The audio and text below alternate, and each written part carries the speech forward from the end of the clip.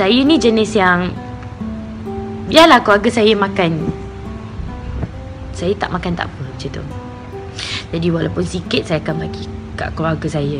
Saya pernah paling susah yang mana saya hadapi adalah saya makan bubur kosong yang tak tahu beras tu tahun bila punya. Saya jumpa kat dalam almari sebab saya terlalu lapar. Saya tak pandai berdikari sebab saya dengan bapak saya je sebelum ni. Bila bapak saya tak ada saya kena pandai cari duit jadinya saya uh, satu hari tu saya macam saya lapar sangat saya tak duit.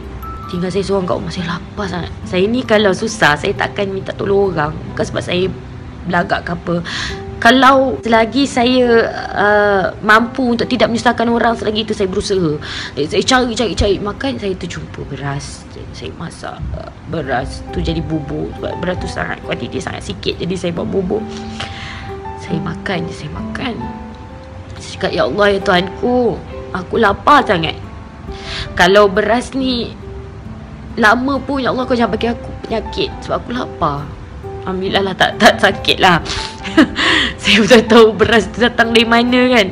Saya juga yang mengambil kesempatan untuk uh, Mengucapkan selamat hari bapa kepada seluruh bapa di dunia ni. Saya sangat rindu arwah ayah saya Saya tak tahu nak cakap macam mana sebab saya dapat Saya tak akan pernah jumpa Lelaki sehebat dia, sekuat dia.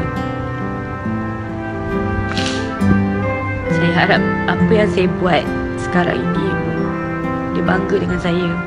Saya harap saya dapat